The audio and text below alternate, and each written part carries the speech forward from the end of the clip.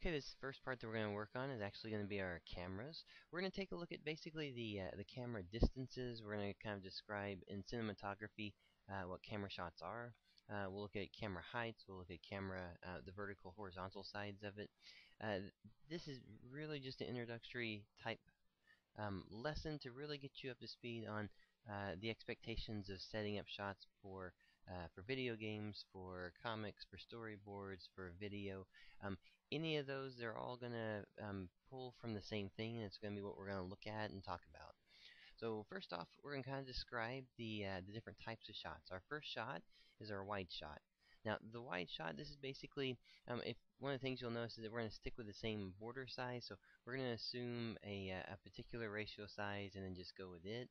But the first thing just to kind of look at is that when we talk about a wide shot, we're talking about something that's far enough out that you can actually like see the if, if you can kind of make this out for my scribbles. Um, this is the superhero in the scene, and then it's far enough out, far enough wide that you can actually make out the environment around the character as well. So it really helps to kind of convey everything about the scene. Now our next one we're going to look at is basically a wide shot, but it's a little bit closer up.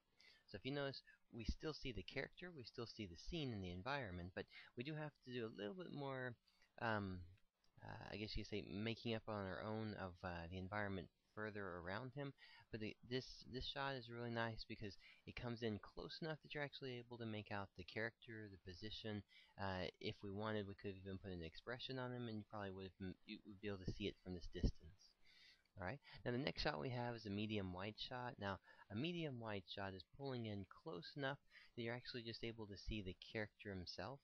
And uh, typically you'll notice that the character uh, gets framed, it gets cut a little bit closer. So you see about half the character through here.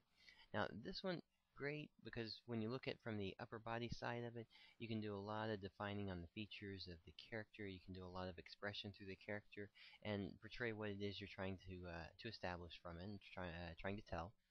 Now the other one that we have is also just a medium shot. So instead of just the medium wide shot, the medium shots actually pulls in really close. You're looking at more like a bust of a character. So you're going from the chest up. And again, this is going to be another one of those where it just leads you in closer to the character's facial expressions.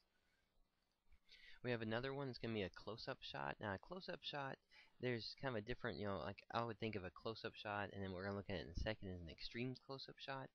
The uh, the close-up shot goes in close enough just to the face so that you're seeing the character's face and then probably a little bit of the shoulders. And uh, the, the main thing is that you can clearly see the uh, the character's expression.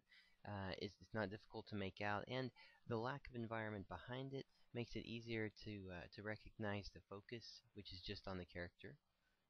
And our next one that we have for the final one on this part is going to be an extreme close-up shot.